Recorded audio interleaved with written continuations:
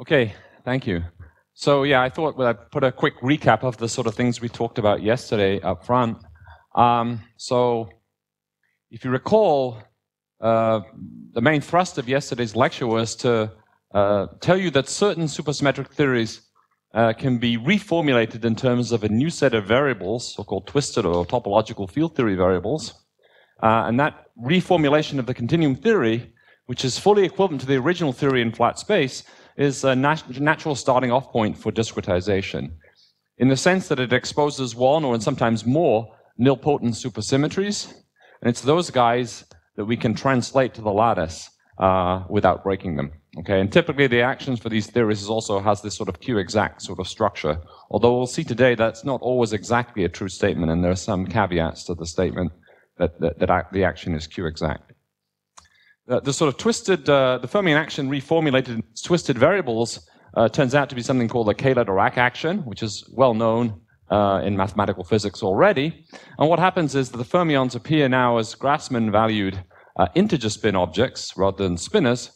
Um, and when you put them on the lattice, they naturally live on links of the lattice rather than lattice sites. So it's rather a different kind of discretization than a conventional uh, approach to, say, lattice QCD. Um, at the end of last time, I pointed out that, in fact, there was no so-called fermion doubling in these theories, and I'll say a bit more about that today. Um, corresponding to the fact that the fermions are on links, also the bosons are on links too. And typically the bosons appear as complex fields or complex gauge fields specifically. Uh, and that's natural because the supersymmetry has to take you between bosons and fermions. So if the fermions are on links, the bosons are on links and, and vice versa. So what we saw last time was that the requirements of uh, Q symmetry, uh, gauge invariance, and this fact that we don't want to see any additional fermion doubling places severe constraints on the structure of the lattice theory. In fact, there's very little wiggle room in these constructions. Uh, once one, I told you last time how one formulated the uh, the analogs of derivatives in the theory, which were some sort of covariant difference operators, and the structure of those covariant difference covariant difference operators was very much determined by this requirement that the theory be uh, both Q-symmetric and gauge invariant. So we'll go on with that discussion today. So I'll pick up where we left off uh, which was um, at the very end of last time, I was discussing um, how it is these theories don't exhibit fermion doubling. Um, so I showed you a, a, result for the fermion determinant, which could be sort of rewritten uh, as a, an, um, as a, a, sort of an explicitly double-free scalar Laplacian. But there's another way to understand how this works um, uh, by mapping the lattice Kähler-Dirac theory into a theory of so-called reduced staggered fermions. So that was a comment that came out in the discussion at the very end of last time. So the idea is the following. So we're in two dimensions still. So my lattice, if you recall, it's a square lattice with some sort of body diagonals, some diagonal links running this way. So I have one fermion, say psi 1 on this link, another fermion psi 2 living on that link here, there's a fermion eta located at the lattice site x, and then there's a field pi 1, 2, which is oppositely oriented running down towards x from x plus 1 plus 2. So that was, that's the structure of how we lay out the fermions in this model currently according to this Kähler-Dirac prescription. But I can map this whole lattice theory, at least at zero coupling in the free theory, into a theory of staggered fermions. Um, so what I have to do is introduce a essentially a lattice with half the lattice spacing. So this eta remains a site, uh, uh, this field eta lives at this site here. The psi 2, you can imagine this site, this link here corresponds to a site field on the fine lattice here. This link fermion here maps into a site variable on the fine lattice there. And the center of this link here gives you a site fermion on this fine lattice too. So I can map the original degrees of freedom, which were originally on links, into site fermions on this sort of lattice with half the lattice spacing.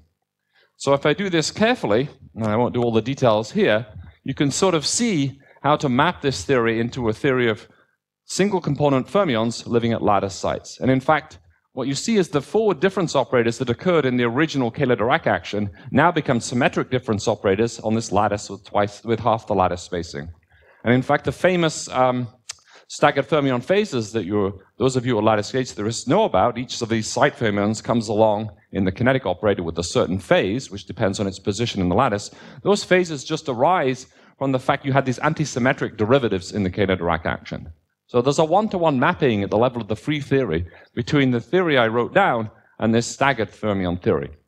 Specifically, this or this staggered fermion theory is a little unusual in the sense that there's only a single fermion at each site. So in ordinary staggered fermions, one has a sort of chi and a chi bar at each site. These are what are, examples of what are called reduced staggered fermions, where one has only a single Grassmann at each site, corresponding in this case to say psi 2, psi 1, eta, or chi 1, 2. All right, so there's an example of reduced staggered fermions. So if you think about ordinary staggered fermions in two dimensions, they correspond to a situation with two Dirac fermions. Uh, when I go to reduced staggered fermions, I have a single Dirac fermion. Of course, that was the physical content of my starting point theory. I had two Majorana fermions or one Dirac fermion. So while there's no lattice artifact doubling in this prescription, it's certainly true that the theory doesn't describe a single fermion. All right, it describes in this case one Dirac fermion. But that's precisely the physical content of the theory. So there's no additional doubling associated with the lattice uh, discretization. Okay. And the same thing will be true. I mean, look at n equals 4 super Yang-Mills in four dimensions too. Okay. So let me just sort of summarize some of the things that we, we, we that uh, we've discovered in constructing this lattice theory. So first of all, the fermions, of course, are in the adjoint representation of a UN gauge group, but they're now these antisymmetric objects living on links. The bosons are also links, complex link fields in general, valued in the algebra of GLNC. So they would ordinarily be in the group, of course. If I was doing lattice QCD, you're taught by Wilson to always put the gauge fields in the group. This is very different. Here you're forced by supersymmetry to put the bosons in the algebra because that's where the fermions live, and Q takes you from bosons to fermions. So they have to be represented equivalently in the lattice. So you should be a little nervous about putting the bosons in the algebra, but actually it's okay. There's no problem from the point of view of the formal gauge transformation of the fields. The problem arises from the, fermi from the, from the measure for integration. So in ordinary lattice QCD, one uses the Haar measure because the, the, the, uh, the bosons are valued in the group. And that's the gauge invariant measure. In this case, I, because I'm in the algebra, the natural measure is a flat measure. And you might worry that the flat measure was not going to preserve gauge invariance, because when a gauge transform, tra the, the field U transforms differently at its endpoints. And so the Jacobian, when I do a gauge transformation, is not clearly unity. But remember here we have both an integration over U and U bar, and that saves you. Those two integration measures cancel against each other, and the final flat measure is actually gauge, gauge invariant. Okay. All right, so although we're using a flat measure and our fields are valued in the algebra, not the group, nevertheless, this lattice theory is still UN gauge invariant. Okay? Um, clearly, there's an S2 permutation symmetry in, in, as a sort of symmetry of the lattice action. And we also have some uh, center symmetries associated with uh, moving, uh, multiplying the elements of the boson matrices by centers of the uh, group, which is just U1 here in the different directions. So I can take u mu and, and uh, basically multiply it by a phase, and that's a in clear invariance of the lattice action. But the derivatives that you need to arise to get the right naive continuum limit have to arise from expanding u as 1 plus a plus dot dot dot. So that arises naturally when I'm doing lattice QCD. If my variables are basically e to the a, then I get the 1 here for free in QCD. But here it's not guaranteed anymore, right? If I'm in the algebra, this one has to arise in some other, from some other mechanism, right? Um, and so what happens is you actually have to give a vev to the imaginary part of the, the trace mode of u of this variable u. That's going to break the center symmetry, and it picks a particular point on the moduli space to expand around. So the theory we've written down is very beautiful. It's gauge invariant, Q, uh, Q symmetric, has all these different symmetries. But if you don't this, you haven't got the right naive continuum limit. So you have to make sure that the theory is fluctuating around a particular point in the moduli space, which point, the point corresponding to the unit matrix in the expansion of U here. So to make that happen, you have, to, you have to add some sort of soft Q-breaking term to the action, which enforces that constraint, the fact that I want to be able to expand around the unit matrix. And so we typically use something like this term here. It's just trace of U, U bar minus the unit matrix squared. So that breaks Q symmetry, but things are okay because you know there's an exact symmetry at mu equals zero. So it means that any Q breaking terms induced via quantum effects by adding this term to the action, of course, have to vanish, the couplings have to vanish uh, like some positive power of mu. In other words, has to be multiplicative renormalization of those operators. All right. So you know exactly how to take the Q invariant limit. I just send, I compute at finite mu, and then I send mu to zero. Right. And then uh, I extrapolate all my observables to that limit. So this is absolutely necessary. You can't leave this out, or else you don't even have the right continu naive continuum limit. Right? These, this unit matrix that arises here is necessary to convert some of those expressions to get, make them look like hopping terms or kinetic operators. If I don't have the one, I don't have kinetic terms in my action. So I'm doing some sort of funny matrix model, but it's nothing to do with uh, a continuum discrete field. Okay. Is that clear? All right. Um, I mentioned early on that, that, that this uh, twisting process is sort of intimately connected to uh, uh, construction of topological field theories. And I said at the time that we're not interested in the topological field theory aspects of this. We're using this as just a change of variables, and that's true. But of course, the theory nevertheless contains a sort of in interesting that is, um, a sector of the theory which can be computed essentially exactly even on the lattice in the semi-classical approximation. And, and here's the argument for that. So if I have some operator which is actually invariant under Q, so the subsector of ob observables which are actually invariant under the supersymmetry, if I look at the VEVs of those operators, I can imagine uh, computing the, uh, uh, the variation of those VEVs with respect to some parameter t, which is put in front of my action. So this is like the gauge coupling, if you want. So here's my Here's my integration uh, that I need to do to compute the VEV. My action is q on lambda, q on some function. So I can take the d by dt of it, and it just brings down a factor of q lambda.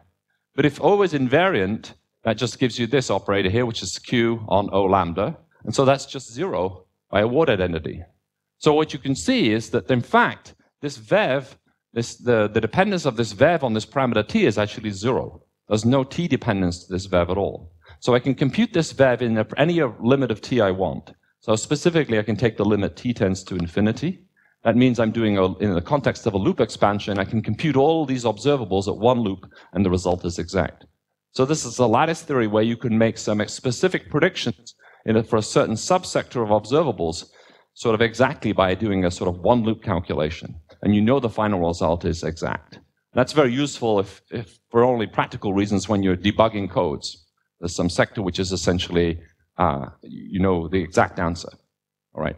There's what, so clearly one trivial class of these observables are just Ward identities. If I take Q on something, that's clearly invariant under Q, because Q squared is zero. And so, though, so the Ward identities are one example of uh, these sort of topological observables. Of course, they're trivial because they're already Q on something. So they wouldn't be interesting from a topological perspective, but they do correspond to something which you can uh, compute uh, at one loop.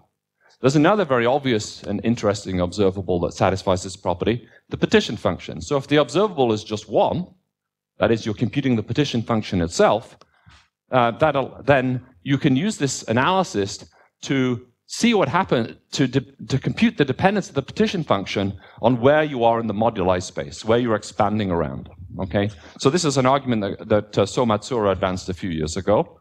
Um, so for example, I can imagine expanding U around some vacuum configuration. These vacuum configurations are just constant diagonal matrices. That's the moduli space of the theory. Those all have classical action zero.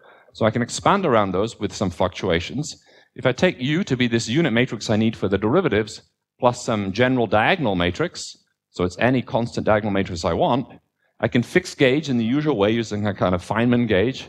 That will introduce some Faddeev-Popov ghosts just associated with that. And then I can do the integrations at one loop.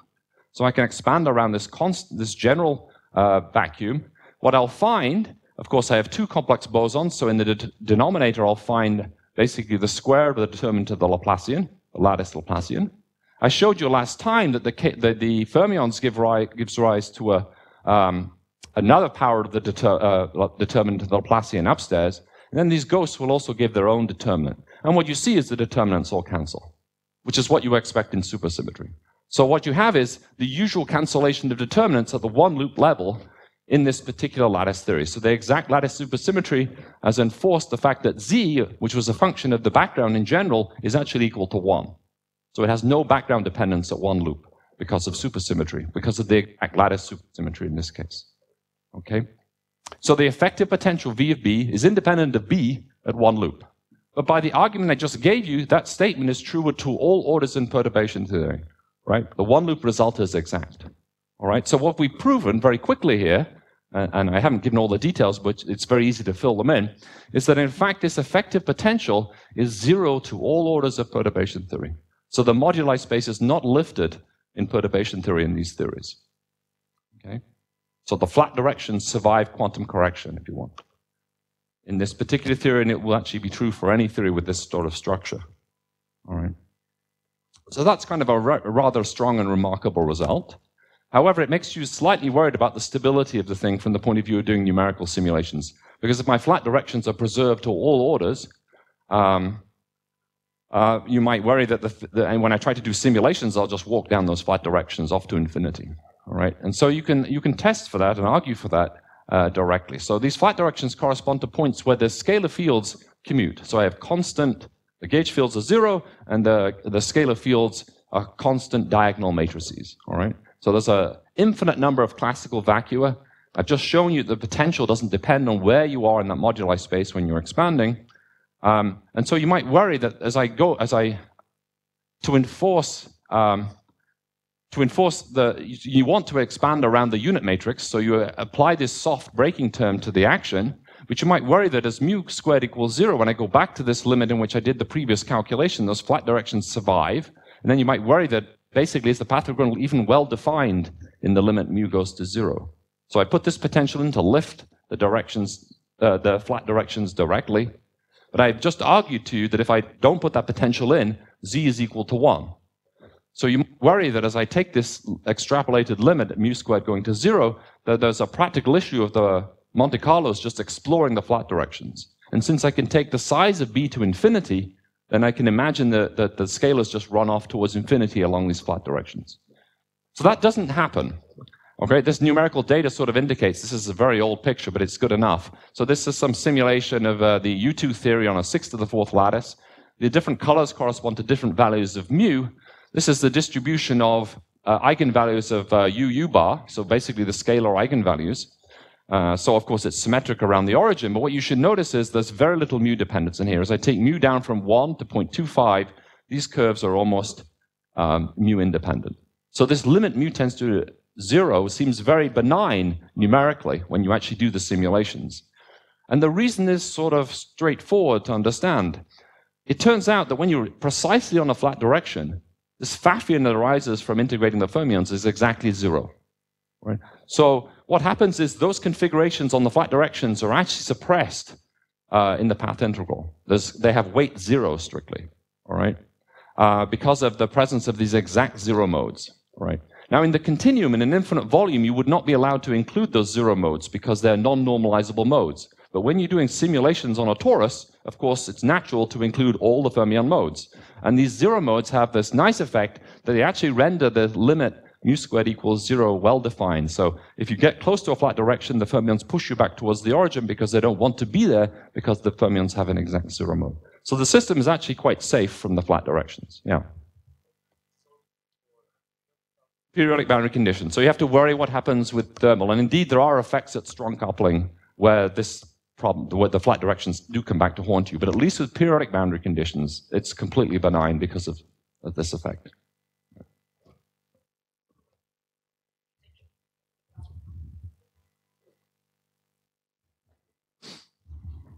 So I'm a bit confused. So, so you claim even if you pick up flat direction in simulation, it's just uh, somehow cancel, or you claim that the flat direction cannot be seen?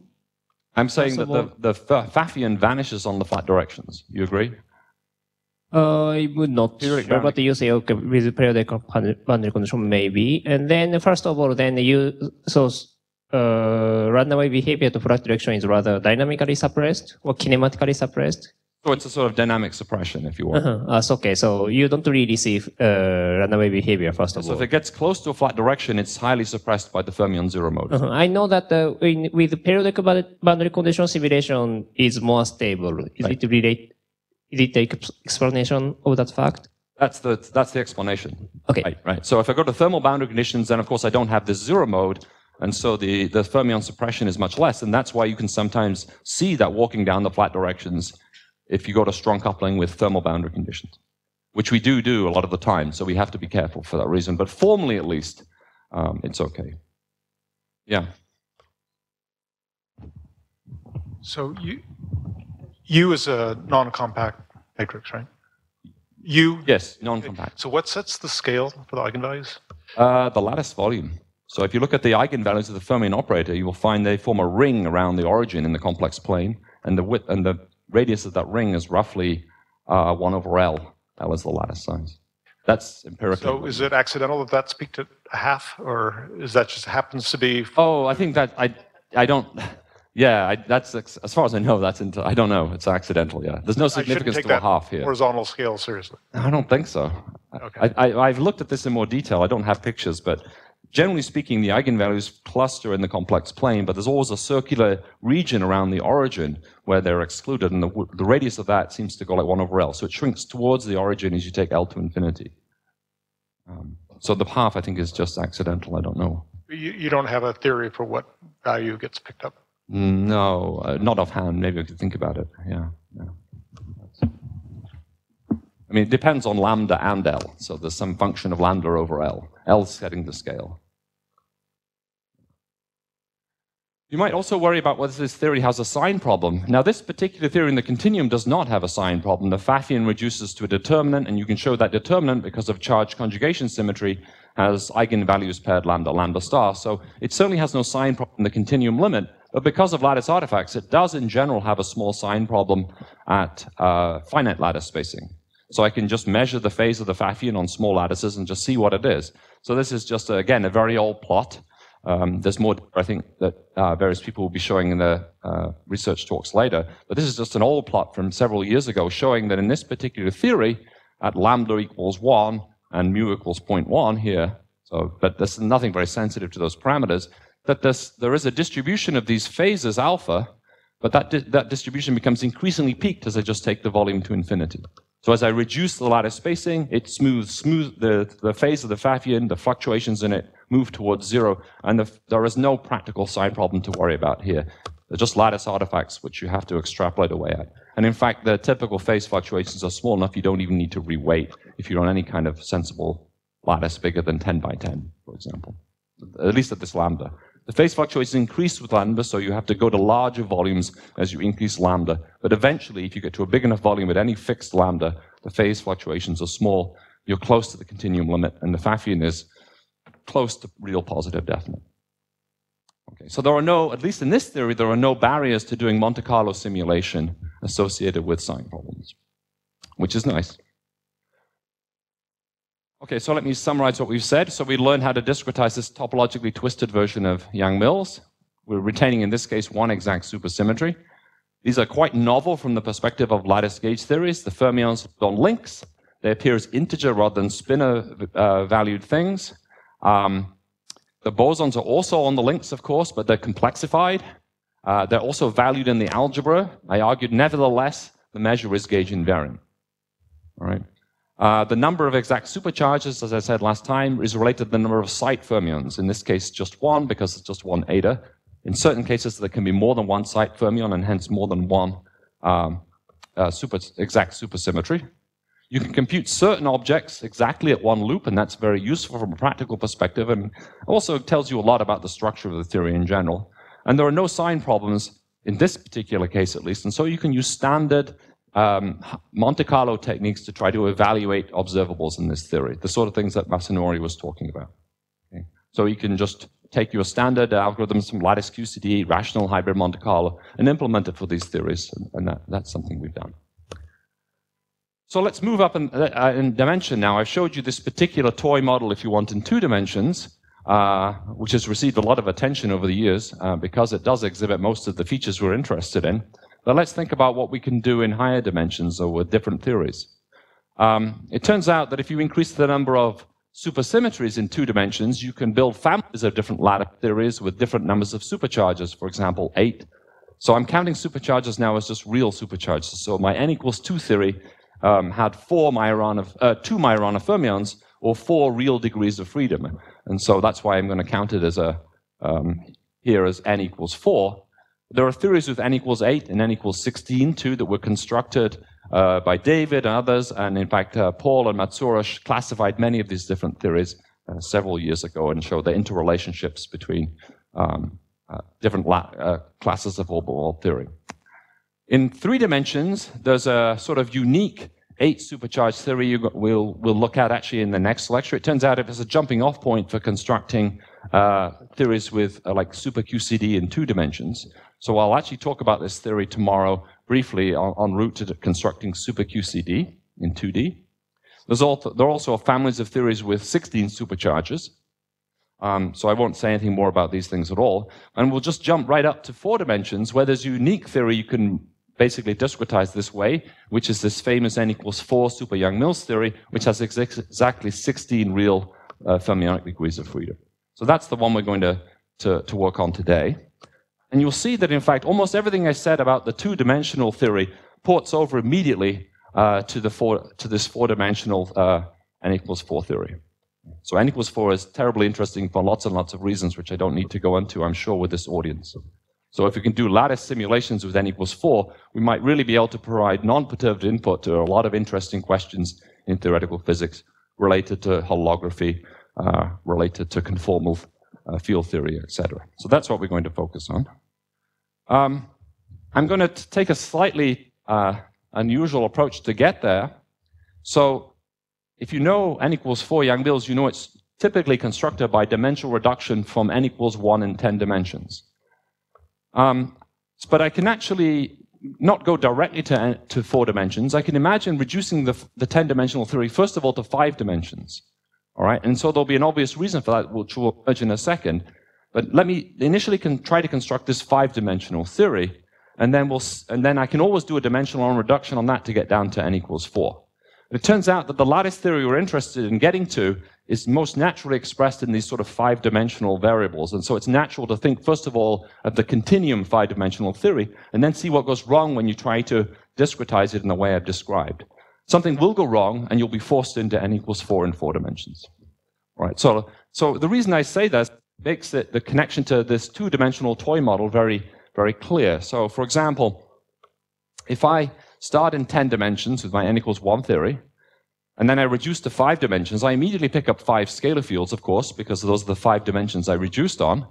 Um, the number of fermions is conserved. It was 16 in 10 dimensions, so it's still 16. It's the same number of fermion degrees of freedom of n equals 4. But I'll also have five gauge fields still left in the game, right? So there's naturally going to be an SO5 R symmetry in the theory corresponding to the fact I can rotate these five scalars into each other. So if I think about my twisted rotation group, which in two dimensions was the diagonal subgroup of SO2 Euclidean with SO2R, I can do something similar now in five dimensions. I can take the SO5 Euclidean uh, Lorentz symmetry and take its, uh, the diagonal subgroup with the SO5R symmetry. So that's very natural. And immediately you, what you expect is, since the, the structure is almost the same of two dimensions, is that the bosonic degrees of freedom will end up being packaged into a five complex fields A, just like there were two complex fields A in two dimensions. And naturally, I'll have my 16 fermions will break out as a scale, as a, as a, a scalar, a vector, an antisymmetric tensor in, in five dimensions. Right? So the continuum theory can be written, as you might expect, in terms of this, this calligraphic A, where A runs with, where the index runs from one to five, and then these 10 fermions packaged in this particular way. And if I want, I can always get down to n equals four by dimensional reduction of that theory later on. So let's just focus on this five-dimensional theory to start with. So the supersymmetry, the action of Q in this five-dimensional continuum theory is precisely the same as the one we had in two dimensions. So in other words, Q will act on A and take you into a psi. Q on chi will give you basically F bar. Eta will go into an auxiliary field D. psi itself is a singlet, A bar is a singlet, and D is a singlet under Q. This is precisely the same structure we had in two dimensions. So we can just use that straight away. Um, again, the scalars have been sort of re-emerged as vectors under the twisted group. That was an argument we made last time around, and it's just the same here. So they combine with the gauge fields into this complex sort of calligraphic or curly A. There are two complex covariant derivatives that emerge naturally, and a complex field strength, which is the commutator of the two. So this is all precisely the same as two dimensions. And you can see that q squared is zero is just manifest here, just as it was in 2D. So I can import everything we talked about in 2D straight into this five-dimensional theory. And the action is almost the same as the 2D theory. So write the same structure. I have a couple chi to f, eta to d bar d, commutator, and then eta to d over here, the auxiliary field take the trace, integrate now over five dimensions. I'll imagine the five dimensions is some four-dimensional manifold cross S1, because I'm going to reduce on an S1 in the end to get to n equals 4. So that's the same action we had in two, the two-dimensional toy model, but notice I have one new freedom here. There's a new topological term I can write down, which is not Q exact, where I just couple the two chi's through a D bar using the invariant epsilon symbol. So that's a new operator that I could have that I couldn't write down in two dimensions and I can write down now. And a similar, by the way, a similar term occurs in the eight supercharged theory in three dimensions. So in certain particular theories, in certain numbers of dimensions, there are additional Q closed terms you can write down, which you need, in fact, to maintain to make, the connection back to the super Yang-Mills theory, right? So in fact, we do need this thing with a particular coefficient in front to get right back to the theory we're interested in. Right? So Q squared is zero, guarantees this is already invariant under Q. And you see the, the structure of the theory is also interesting. When I operate with Q on this term, Q on chi gives me an F bar, and so I have epsilon D bar F bar, and so it vanishes by the Bianchi identity. So this theory doesn't depend on the metric, so it's topological, like this term ultimately is topological, um, or it has a topological feature to it, but it's also invariant under supersymmetry for a non-trivial reason depending on the Bianchi identity.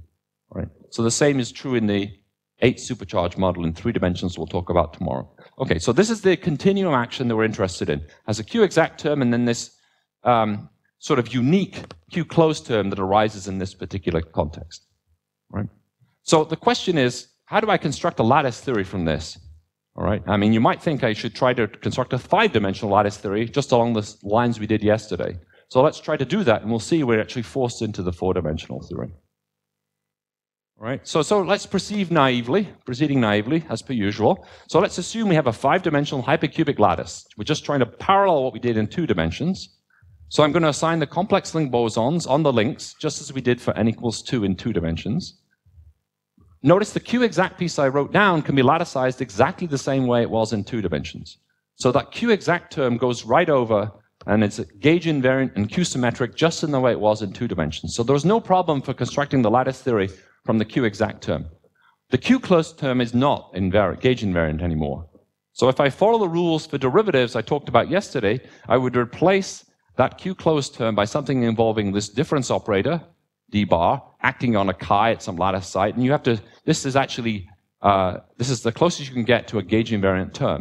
But when you actually look at the gauge variation of this term, you'll find that in fact, gauge invariance requires that the sums of all these basis vectors I wrote down have to be zero. So this term is not gauge invariant. There's no way to write down a gauge invariant version of that Q closed term unless the basis vectors satisfy that constraint. That is, they're linearly dependent, and so they actually span a four-dimensional lattice, not a three-dimensional lattice. Right? So you can't so you can't write down the five-dimensional theory on the lattice. It simply isn't gauge invariant. But what you can do is restrict to this sort of uh, particular linearly dependent basis, which means that you're living basically in four dimensions now, and that theory is gauge invariant. So all the rules I gave you about uh, difference operators allow this theory to actually be gauge invariant. All right. So the lattice theory is truly gauge invariant and supersymmetric if it, it, if in fact it exists in four dimensions and not five. Right. So everything I, I wrote down for two dimensions ports over immediately. So I have five gauge, five complex gauge fields as before. My 10 fermions are still packaged this particular way. Everything's assigned to links on a lattice. There's a single nilpotent supercharge.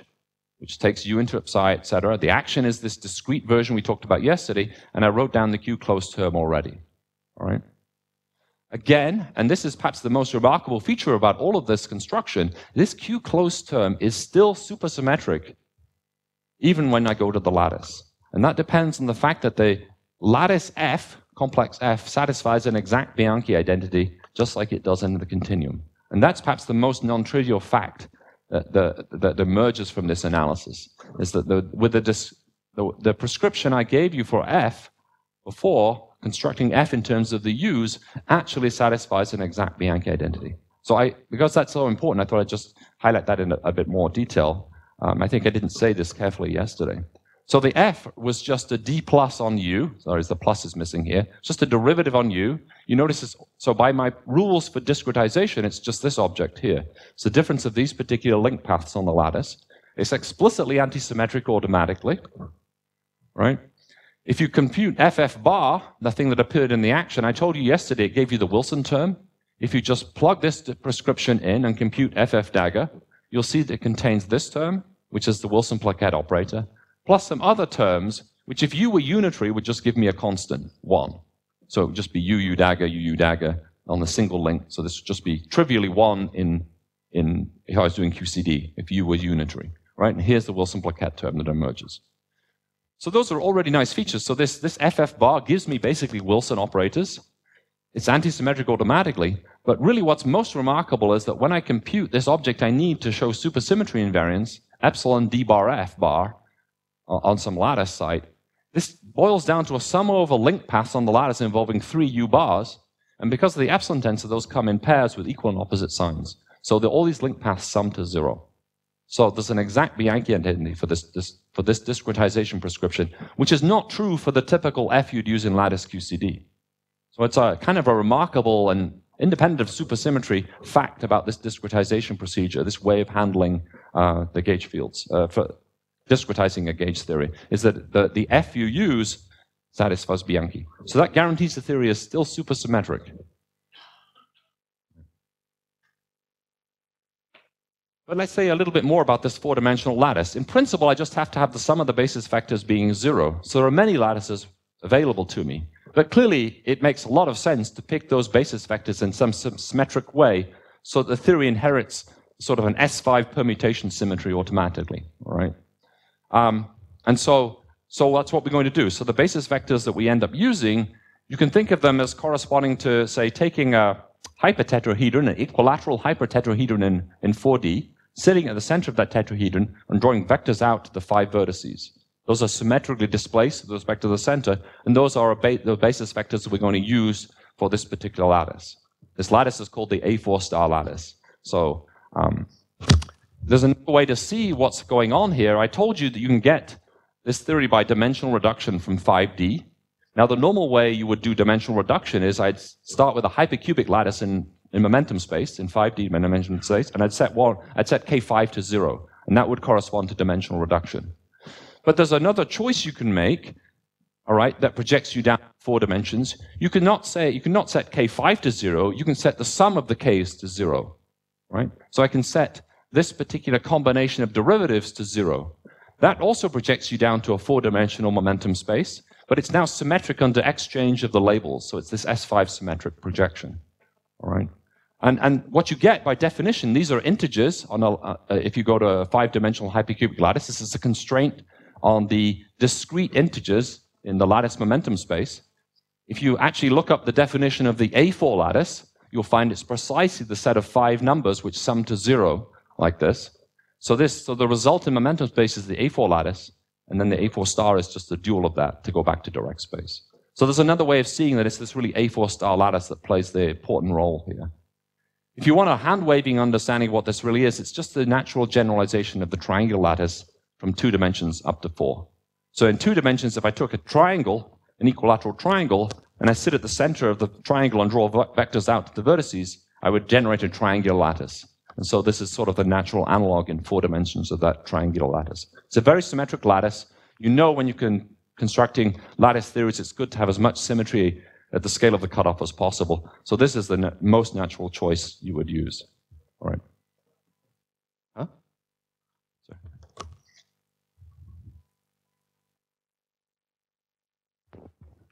So Four-dimensional equilateral tetrahedrons. No, I mean, I, the, the, I described the, tetra, the hypertetrahedron as a way of constructing the lattice vectors. It's not built by gluing hypertetrahedra together Okay, in any yeah, because it can't do that, right? Yeah. No. Yeah. So it's just the lattice vectors. Yeah. I'm not very good at imagining what's going on in 4D, but I don't think that's the case. Well, I there are many, many interesting lattices in 4D. Well, I mean, a four-dimensional tetrahedron has five corners, right? Right. So That's the five.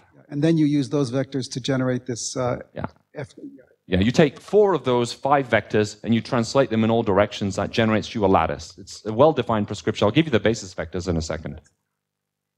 Yeah, right. So yeah, Simon, uh, is there a similar construction for the 2D system that if you started in 3D, um, did this would you end up necessarily on a triangular lattice in, in 2D? you would, but you'd have to use more supercharges.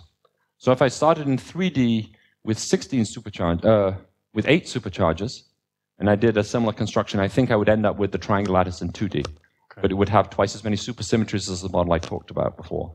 Okay, So there are ways to relate these things like that. but it would be a different supersymmetric theory. Right. 2D. Okay. Right. It's a different one.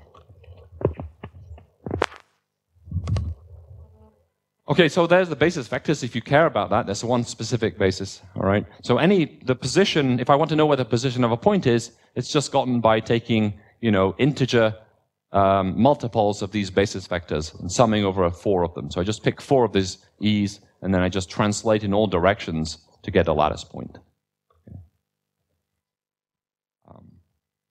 So when we actually store this lattice in the computer, we don't store the explicit the e's explicitly. All we really need to do is store the ends. So I just store a cubic lattice with body body and face diagonals, and from that I can um, reconstruct the lattices I need.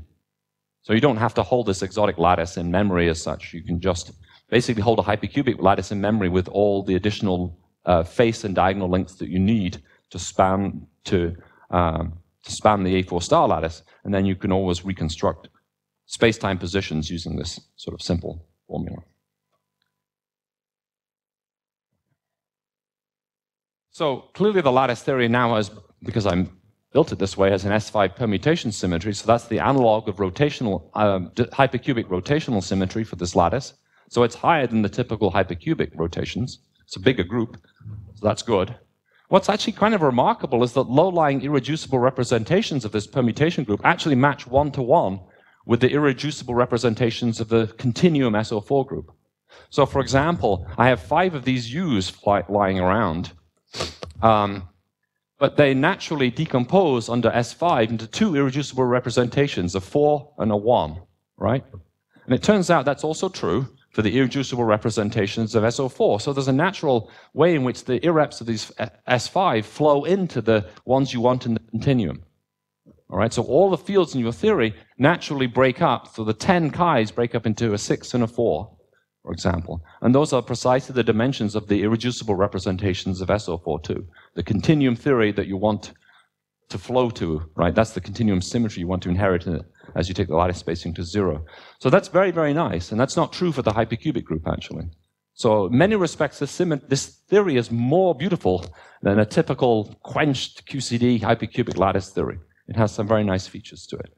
You can translate between these S5 indices, these, these Roman indices, and if you want the uh, SO4-like indices, the ones corresponding to the irreducible representations, using a sort of simple formula which just involves the, um, these position vectors E that I wrote down before. So this was written down in, in David and Mithat's original paper. Um, there's lots and lots of very useful stuff in that paper, which I didn't appreciate when I first read it, but I've used it a lot since. Okay, so it's very easy to go back and forth between the S5 indices and the SO4 indices, which is nice when you want to think about constructing continuum observables. Okay, so now we should see how these symmetries uh, affect the renormalization of the theory. So what do we have? We have gauge invariance, we have Q symmetry, we have this S5 point group symmetry, and then we also have a center symmetry. I can take the links in any one of these four different directions and uh, multiply them by a, um, a U1 phase. And also there's an exact fermionic symmetry. Associated with this fermion zero mode I talked about in two dimensions, you can shift the etas by a constant proportional to the unit matrix, and you show there's a symmetry of the Fermi action. So you have these, all these symmetries constrain what can happen when under quantum corrections. What can the effective action of the, the lattice theory look like? And when you do a power counting analysis of the possible relevant operators that can appear, what you find basically is that the only operators which are relevant that can appear in the action under renormalization are precisely the ones you started with in the classical lattice action. So all that can happen is the coefficients to these operators, which are all marginal, can, get, can pick up renormalizations, but the structure of the lattice theory is already renormalizable. There's one caveat to that. There is an operator you could think of that's not in the classical action, which obeys all of these symmetries, which basically is an operator where you couple eta to UU bar. But it's not a derivative anymore, it's just UU bar. So, so this term is, obeys all of these symmetries up here and is not in the classical action. However, it turns out that this term, if its initial, if its coefficient in the classical action is zero, it can't be induced through radiative corrections, at least in perturbation theory, because this term would lift the moduli space. And I can go through an argument similar to the one I did in two dimensions to show the moduli space is not lifted in perturbation theory.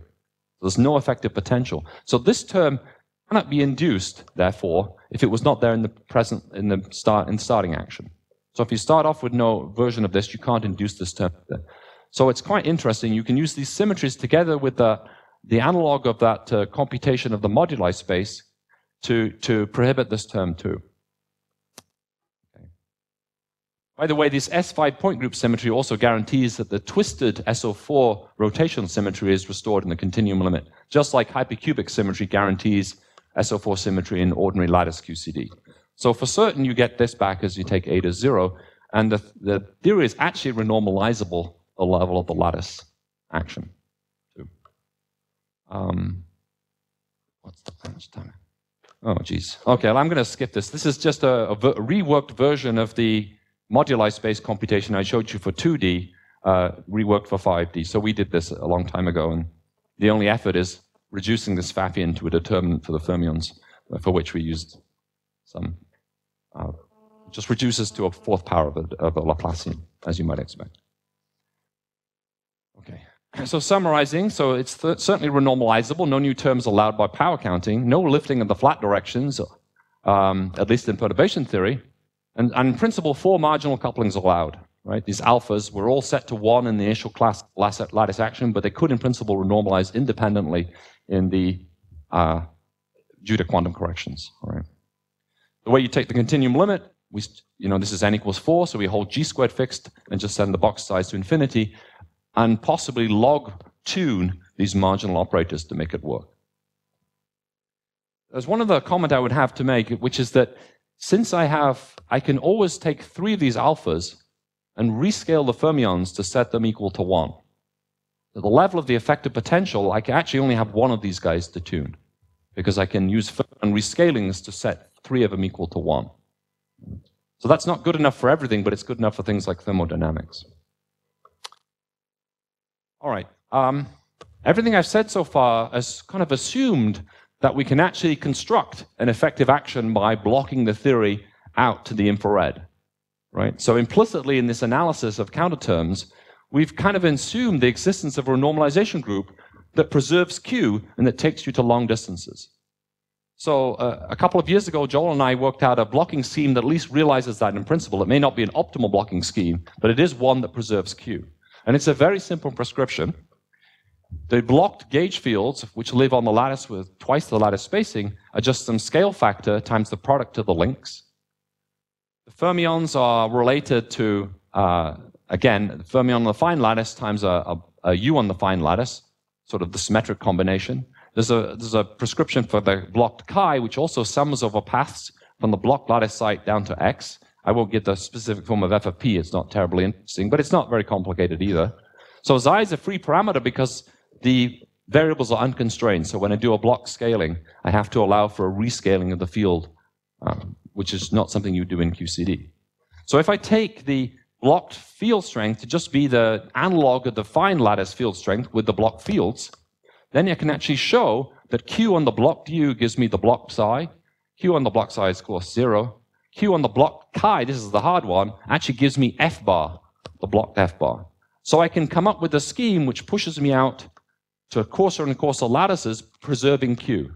And that's in principle what I need to make those previous arguments about the fact that Q is um, the, the associated with the uh, enumerating the relevant operators under the uh, Q symmetry. All right, so, so that exists, and you can even test it a little bit. We did a little bit that back in the. Um, and so, for example, you can determine xi, uh, this rescaling factor by just matching the one by one and two by two Wilson loops. And once you've done that matching, you determine xi to all the couplings you're interested in. So here I'm scanning in the coupling along the bottom. And now I'm starting to look at other Wilson loops. This is the two by two guy. This is the two by one guy. The raw date, the, the initial bare loop is the black points. The red points are the initial measurement of the blocked loop. And then when I do the rescaling, the green is the rescaled things. And what you find is that all the small Wilson loops can all be rescaled to sit on top of each other with a single xi. So that tells us we're living close to a fixed point because I'm able to map all these different observables into each other with a single rescaling. So at least it, it's a sanity check. This procedure is not crazy, at least. All right. And this has not been checked at stronger coupling, and so this is a kind of an old calculation at this point. But anyway, the scheme itself seems to make some sense. If you want to go beyond symmetries and really figure out what the effective action looks like, you have to actually, um, you know, you have to get your hands dirty and do some perturbation theory at least. And so we we did a calculation a few years ago where we looked the one loop structure of the lattice theory by doing explicit lattice perturbation theory, having picked appropriate gauges. This is some of the ingredients you need to do that perturbation theory. It's very similar to what one would do in QCD. So there's some propagator for the A, A bar fields. There's some fermion propagator related to the um, inverse, the Kähler-Dirac operator. Um, there are vertices associated with the couplings of psi eta, psi chi, and chi chi.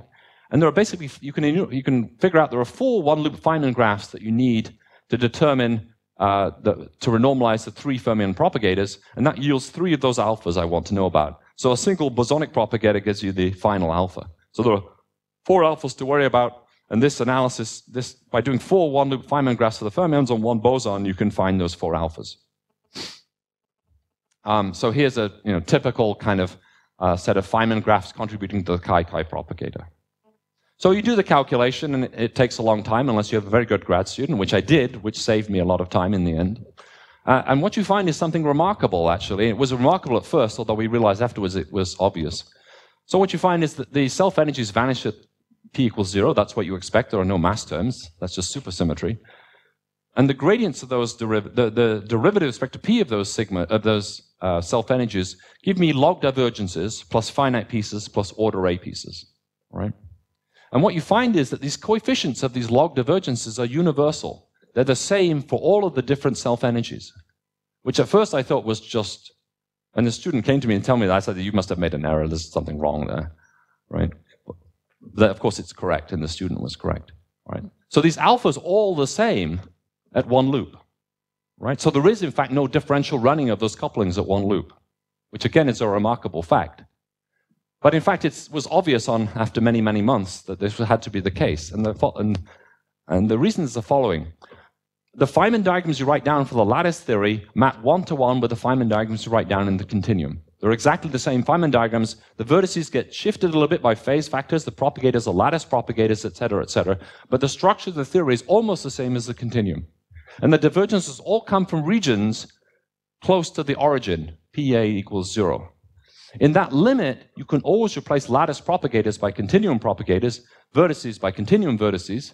And so, not surprisingly, since it's n equals 4, all of these alphas have to come out to be the same because it, that's the consequence of n equals 4 supersymmetry. So it was correct. Um, uh, so the student did the calculation correctly, in fact, um, which I was impressed at because I'm sure I couldn't have done it correctly. Um, but it's even better than that, because if you think about it, since all the log divergences are common to the continuum, you already know the answer in the continuum. The beta function in this theory in the continuum vanishes. So now you know the beta function of the lattice theory at one loop vanishes. At higher loops, this correspondence between the continuum and the lattice no longer holds. So at two loops, it is not true that you can replace all the propagators by continuum propagators, etc., etc. So it's only true at one loop. But nevertheless, it's kind of a remarkable result, a lattice theory where the beta function vanishes at one loop. Right? So this one Q symmetry, one out of 16, is buying us a lot. Right? 15. Okay, good.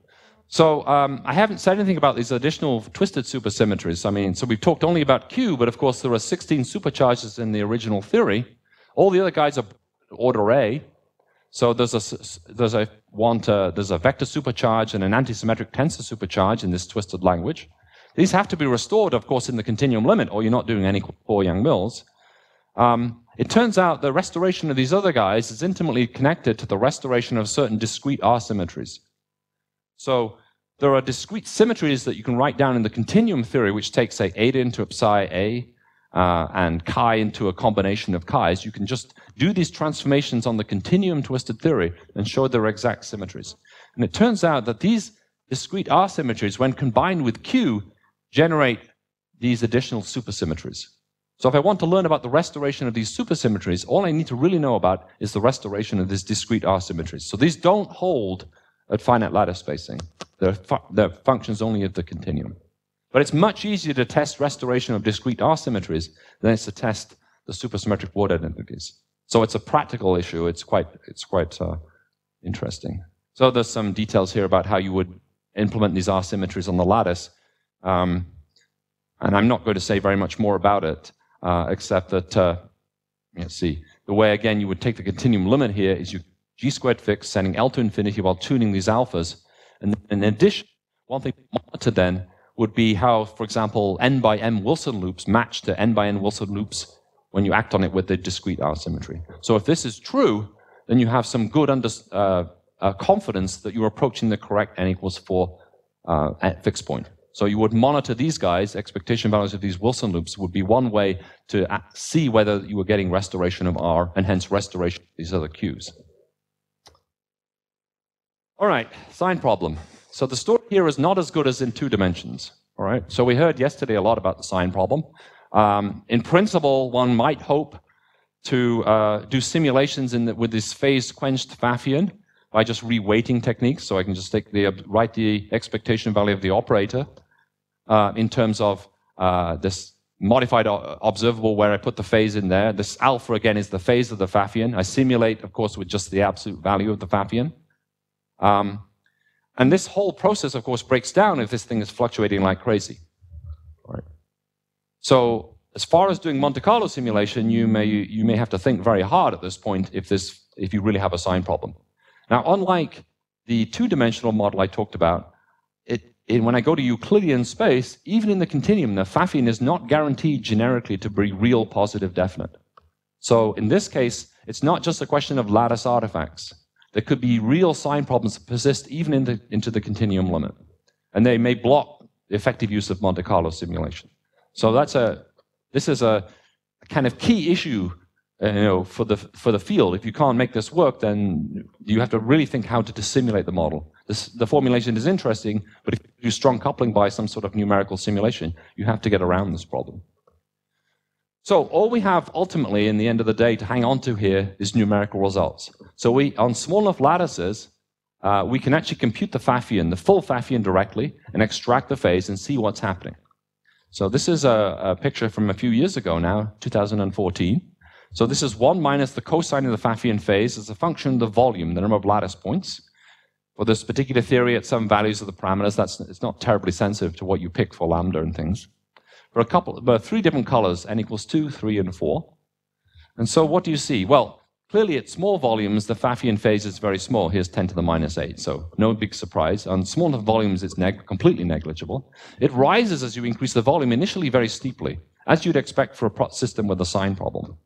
But you notice that, at least at this value of lambda, it tails off and almost asymptotes as I increase the volume as I go, uh, as I go up in volume. So we can't compute beyond uh, 4 cubed by 6 because this is, turns out to be about the biggest volume. I mean, David Schaich worked, worked very hard on a parallelized Pfaffian calculation to make this go at all. But even this calculation, I think, takes two or three days per configuration. Is that right, David? Eight days. Okay, it's even worse. So this is really the limit. Remember, I have 16 fermions associated with every site, and we're in the adjoint representation for n equals 2, 3, and 4. So the number of degrees of freedom here is huge, actually, even though the spatial volume is not vast, or the space-time volume is not vast. Nevertheless, this is very, very, you notice even here, you're down at sort of the one, you know, below the 1% level. So in practice, you don't even need to reweight even out here. right? If you reweighted, you it's the error would be smaller than the typical statistical error you're getting anyway. So this is an observation. Now, to make this go, I have to use anti-periodic boundary conditions. If I use periodic boundary conditions, there is certainly a phase sign problem. So almost all of our numerical work has been conducted with anti-periodic boundary conditions just for this reason, so that we can at least hold this slide up and say there's no sign problem, probably. Right? We can't, we're simulating bigger volumes in 4q by 6. So I can't, uh, ultimately, I don't know for certain that there's no sign problem on a 16 to the fourth box. But this plot is, uh, is our best evidence that it's not actually a major problem. And it's absolutely unknown why this behavior is true. You do if you get the very strong coupling. So that's the price you pay. At modest coupling, that's not a problem. You can use this mu squared parameter to control things. But it, it does come back to bite you as you get the strong coupling. And you see that particularly in these, some of these holographic simulations people are doing in lower dimensions with dimensional reductions of this. You get to very strong coupling or low temperatures. It's, it's precisely the liberation of the flat directions which stops you making contact with the leading supergravity result, I, I think. Um, Okay, so numerical results indicate where it's not too bad, but we don't know why. Can one do strong coupling expansions in this theory? Um, that's a good question. It's not so easy. Because there's only really a single coupling g squared in the theory, it's not so clear how to proceed to do strong coupling. I think Paul and Matsuura, you, you guys looked at it and you weren't sure how to proceed. So the answer is it hasn't been looked at very much at all it is worth thinking about because if we do have real sign problems, the only way to proceed is some sort of other trick. Either you have tensor networks or you have strong coupling or something, right? So I think it's very worth worth looking at, and it has not been addressed much at all. I think. So why is it so mild? Um, well, there's no symmetry to pairing eigenvalues of the fermion operator. That's that's very clear. That's true in the continuum too. So somehow the dynamics must be keeping the system in a region in the configuration space where the phase fluctuations are small. If I just pull the scalar fields or the, the configuration, if I pull the configuration at random, I will certainly have a big phase problem. But somehow when I run simulations with the phase quenched ensemble, I find I'm in a region apparently where the phase fluctuations are often relatively mild, right? Notice that if I set at least one of the scalar fields to zero, I can prove it's positive definite. So it's associated with the scalar fields spreading away from the origin in field space. And at weak coupling, they're typically very close to the origin because you're in the superconformal phase or near it. And so this, this, this, is sort of a dynamical reason for why things are not too bad. There's some very weird things going on. If you look at part, oh, sorry, if you look at partial products of the eigenvalues, so I take eigenvalues of the fermion operator on small lattices, and I just take products up to, say, the nth eigenvalue, and I look at the Monte Carlo ev evaluation of those partial products. They all have sign problems, almost immediately, even at weak coupling, even with thermal boundary conditions, unless I take every single eigenvalue. So if I make n equal to the total number of degrees of freedom, suddenly the plot moves from 0 to 1, uh, which is the cosine of alpha. I mean, it's just remarkable. There's something very interesting going on there. Clearly, it's related to supersymmetry, but I don't have a good. It's been there for years, and the, if anyone has a good idea, it's a it's an automatic PRL, as far as I'm concerned, to fix this, to figure out what's going on here. All right. If I use periodic boundary conditions, I see a sign problem too, for certain. However, if I compute one of these semi-classical observables where I know the answer, and I just throw the phase away, I get the right answer. so if I just ignore the phase for periodic boundary conditions, at least for topological observables, it doesn't seem to matter. Um, and if I use anti-periodic boundary conditions, it's just very mild, I, at least at modest under. It clearly increases as I go to stronger coupling. So it may come back to bite us when we want to get to very strong coupling. So none of this is understood. I just, this is the best I can do. So it's a numerical observation that it seems to be actually better than you would have hoped for.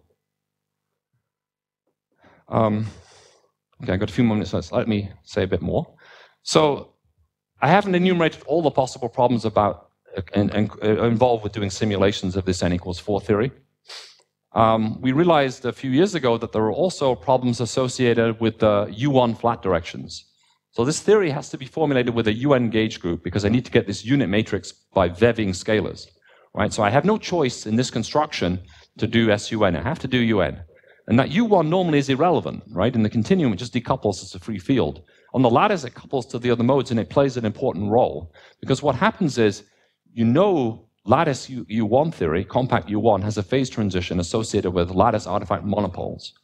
And you see exactly the same phase transition in this theory. So if I don't do anything about these, this U1 mode, then as I increase the coupling, I notice that the Polyakov lines drop towards zero, uh, the plaquette drops towards zero, and this density of monopole world lines increases up right here around lambda 1. So it relatively weak, beyond, as, soon as I start getting strong at all in the coupling, the density of monopole world lines rises and all these other observables go crazy. Uh, and we clearly are not doing the right thing. And in fact, in this phase here, it's even very hard to invert the fermion operator. So I have very small eigenvalues associated with chiral symmetry breaking, associated with this compact U1 transition. So if you do nothing else, this U1 direction kills you. Right? So you have to do something to control that. We tried a few different schemes, and in the end, this was the be- we, we came up with a scheme which conserves the Q supersymmetry. Uh, so this is work with David Schaich here. Um, so what we do is we modify that gauge fixing term, the thing that generated our action, by adding on a piece proportional to the determinant of the plaquette minus 1. Right, so what, what happens is because you're in UN, I can couple the trace mode of eta to some other quantity, specifically in this case, the determinant of p minus 1. When I integrate out the equations of motion, this generates a potential for the determinant of the plaquette, basically the determinant of plaquette minus 1 squared. So this pushes the theory towards SLNC from GLNC right? The SLNC problem, of course, by definition, doesn't have a U1 at this point, so this avoids the U1 problem, right? Um, and this, because it's a Q exact term, doesn't break supersymmetry. Right? So I can add this term to the action with some coupling G. I won't break supersymmetry, but I will generate a potential which, which suppresses the U1 modes. It essentially, leading order, allows you to give a, a different coupling for the U1 mode from the SUN modes. It's like you have an, an extra Yang-Mills term with a new coupling for the U1 mode. At leading order, that's what this term does for you. Uh, and so this allows you to simulate that stronger coupling and avoid this monopole transition, at least, yeah, yeah, for a while at least. Okay, so uh, this is just a plot showing that in fact this action is much improved over one of our earlier actions in terms of as I extrapolate L to infinity, this is a Ward identity, it's going down to, just 10 to the minus 4. So I can satisfy the Ward identities very nicely in the large volume limit with this modified action. So this is a technical business, but it's important to do any simulations in this theory currently is to get rid of these monopoles. So all this code, by the way, is online. It's uh, in GitHub, so you can go get it and play with it if you want. Uh, it evolved from the MILC code, so a lot of the basic communications involve MILC communications. So it's built on top of that for those people who know about that. And I think it's written up in this uh, Again, this is a, a, paper that David wrote with the details of this code. So anyone can go use it. It's based on the rational hybrid Monte Carlo algorithm. So we just replace the Pfaffian by this quarter power of determinant m dagger m. And we implement that through pseudo fermions and a rational approximation for the minus quarter power. So this boils down to a set of multi uh, uh, uh of linear solvers that are hooked together with these special coefficients alpha and beta determined by the Remez algorithm. So this is just standard rational hybrid Monte Carlo. So actually, I'm going to finish in a couple of minutes right on this summary, I think. All right, so, so let me say what I've said so far about n equals 4 Yang-Mills. So we have a lattice construction now, which is Q-symmetric, UN gauge invariant, possesses this additional S5 and U14 center symmetries in this fermionic shift symmetry. Those symmetry and power arguments reveal that the, uh, in principle, almost a single marginal operator may need tuning to achieve a continuum limit with full supersymmetry. We know how to monitor for that restoration of those additional supersymmetries by looking at these discrete R symmetries and how they act on Wilson loops in principle. Um, at one loop, there's no tuning necessary at all. There's just a line of fixed points, beta vanishes for arbitrary g squared at one loop. Right? And I just take the continuum limit by letting the box size go to infinity holding g fixed. Practical issues, we don't see a problem from the SUN flat directions, at least at modest coupling. The U1 modes you have to control with this Q invariant truncation to SLNC. And the Pfaffian phase is observed numerically to be small for lambdas of order 1. Um, and so, in principle, we are almost set up now to investigate issues of holography, connections to quantum gravity, things like S duality. Can we see evidence for S duality in our lattice simulations? uh, and properties away from the planar limit where typically people can't do analytic calculations. So a lot is known about n equals 4 in the planar limit, the number of colors going to infinity. Much less is known, especially for non-BPS observables, away from the planar limit. And in principle, uh, that's something we would target with these sort of numerical simulations to make contact with that sort of stuff. I think this is probably okay. It's a good place to stop. I think some some 20 seconds.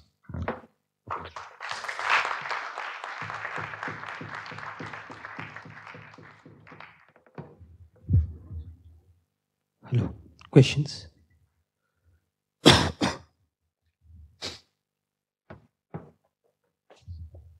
Uh, so uh, I missed a detail when uh, you. Uh, uh, Ah, sorry. I was looking for who was talking. I, I missed the detail when you were uh, the starting point for the n equals four theory when you dimensionally reduced from ten dimensions to five. Uh-huh. Uh, so when you go from ten to four, you go from n equals one supersymmetry to n equals four supersymmetry. Right. When you go from ten to five, what Uh-huh. was the amount of supersymmetry? Well, it's still 16. It's always 16 thermodynamic degrees of freedom. I think they would normally call it n equals 2 in five dimensions.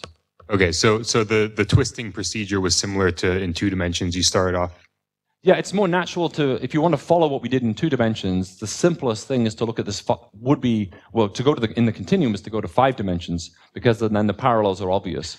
And actually, four dimensions is a bit more subtle, because when I do that initial, suppose I do a naive dimensional reduction of that theory, I'll end up with two additional scalar fields coming from that final reduction, a phi and a phi bar. And uh, the structure of the theory is more complicated and takes more terms to write it out. So this five-dimensional language is just a lot more compact. It's more naturally adapted to the lattice. Uh, and so that's, I wanted to motivate that discussion by going through the continuum five dimensional theory, which is simple to understand from what we already said before. So it's not necessary, it's just a, it's, you know, it's not the way we described it originally, but I think it's a better way of talking about it, unless you go directly through the orbifold, where it also emerges naturally uh, in this sort of five dimensional kind of language. Yeah, that was essentially my question too. Okay. Yeah. This. Let's see. Um, something that uh, really struck me when we were working on this that I never resolved was that the the lattice spacing depends where you are in moduli space. Mhm. So if you change the position of the moduli space, you're changing the Symanzik action. And if you were to simultaneously change the coupling in a theory that had running, then you'd think there would be some combined transformation that would just be equivalent to an RG transformation that would leave the theory invariant. Mm. Um, on the other hand, beta functions are associated with UV physics, yet the value of the moduli is being set in some sense by IR physics. Right. And so there's this strange connection between renormalization, beta flow, and the IR physics, which I don't think has been explored. I always felt like there was something deep there that I couldn't figure out. I agree with you. I, I'm out. worried about similar things. I mean. It's a very fascinating theory, and, and, and maybe the problems we're starting to have in, in getting to the continuum limit at strong coupling are sort of related to these issues. So we have to think more creatively about how the continuum limit is really arrived at and how these different issues sort of intertwine with each other. So I, I agree, and I don't have anything uh, very helpful to say, I think. This. what I've sketched as a continuum limit way, a procedure where you just simply hold g squared fixed, L, send L to infinity, and tune maybe these marginal operators may not be the best way of doing it or best way of thinking about it anyway. I agree. This uh, amazing matching between the representation of S5 and SO4, Yeah. which I didn't know actually. Yeah. You showed the lowest one. How if you go up in the Uh, representation? it's not true all the way up. It's just Yeah, those low sure, lying, sure, the sure, basic sure. elementary fields all live in the right Yeah, but representation. the question is, is it a better approximation than the cubic group or even for the Yeah, so I mean, you might for think the higher can QCD representation? with this. Yes, I think you could. I mean, you can use that technology and throw the supersymmetry away. You, you know, I, I've wondered about doing that for that reason. Just you know, other things to do, but it'd be kind of cool to look at QCD on this lattice. Quench QCD, even, you know, just something simple.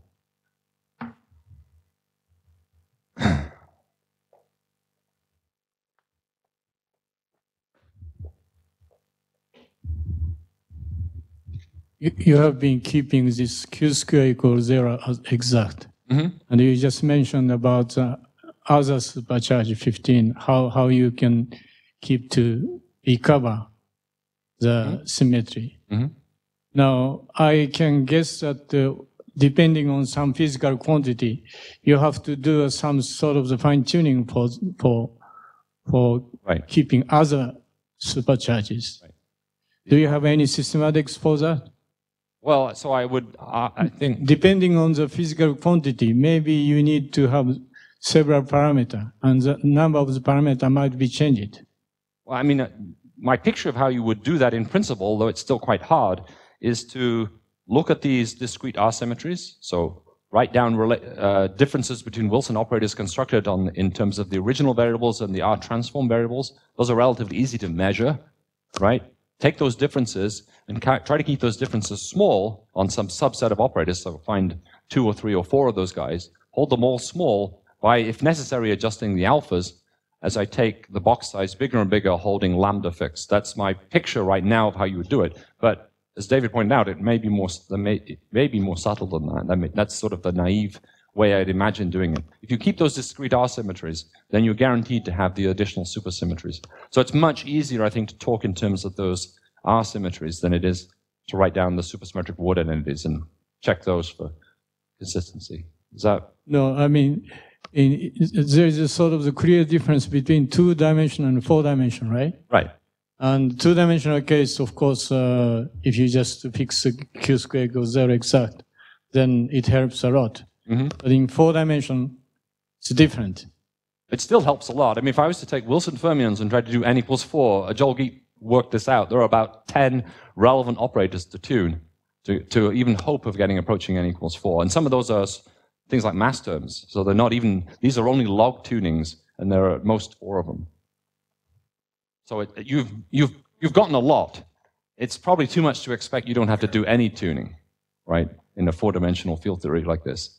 But you've certainly made the problem manageable at minimum. We, by the way, we, so far we've yet to explore those tunings.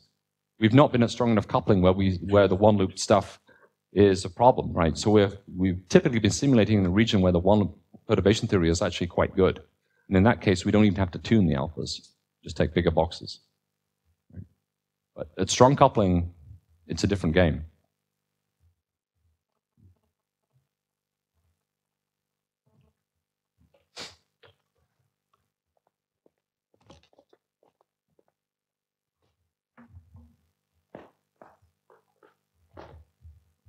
So with um, antiperiodic boundary conditions, uh, if you are in a flat direction, it would draw you always outside, probably to infinity. use thermal boundary conditions, then you definitely need an additional potential to constrain the uh, UU bar to be close to one. So you have this additional soft Q breaking term that helps you. But if you get a very strong coupling, even that, you have to drive that coupling so large that it starts to push you a long way from the supersymmetric limit. So, Be- Because, I mean, in theory, they would, would become attractive. So you would go to infinity with, with the scalar fields in that case. I mean, you can show, and in fact, next time around, I'll, I'll do that. You can show there's an intrinsic divergence in the thermal partition function. So you can actually show that as I take the moduli further and further apart, the effective potential for those moduli at finite temperature goes to zero. So strictly speaking, if I meant to integrate over all the moduli, which I do in the partition function, there's a strict thermal divergence, z equals infinity, from the associated with those flat directions, and that's straightforward to show. I'll do that next time because it's relevant to some of these holographic applications. In fact.